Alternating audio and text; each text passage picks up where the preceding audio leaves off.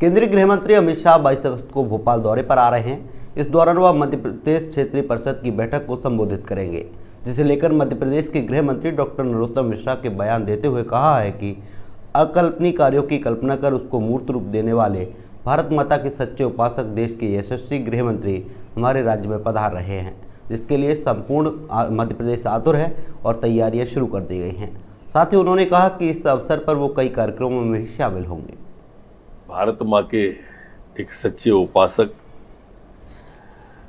और अकल्पनीय कामों की कल्पना कर उसको मूर्त रूप देने वाले, ऐसे हमारे प्रणेता, देश के गृह मंत्री, कल रात को 11 बजे के लगभग मध्य प्रदेश में आ रहे हैं पधार रहे हैं। संपूर्ण प्रदेश उनके स्वागत को आतुर है।